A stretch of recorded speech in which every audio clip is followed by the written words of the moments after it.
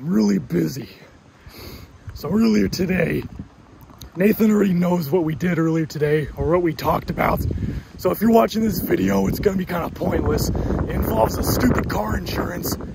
I tried calling his car insurance to see if I can get a quote by adding my car onto his car. So basically be a bundle type bullshit. The hell are you looking at, you stupid bird?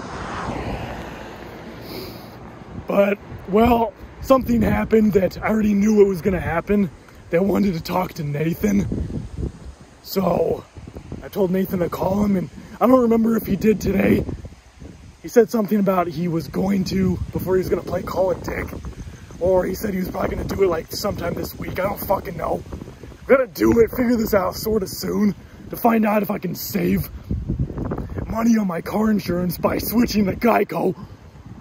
I just had to say that, even though it's not even Geico, but screw you.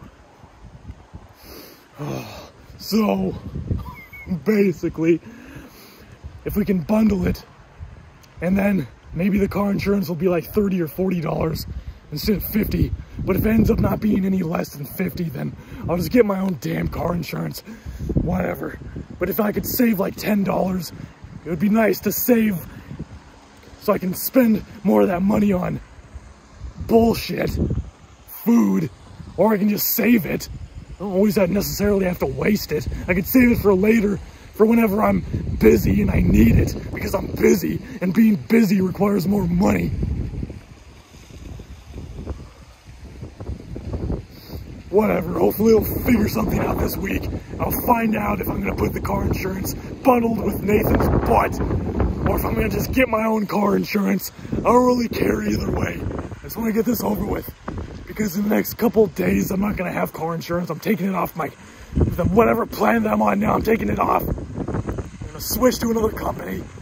Stupid, whatever this car company is have insurance on the van, is screwing me over. They slipped like $50 on this bill. I'm like, where the hell is this coming from?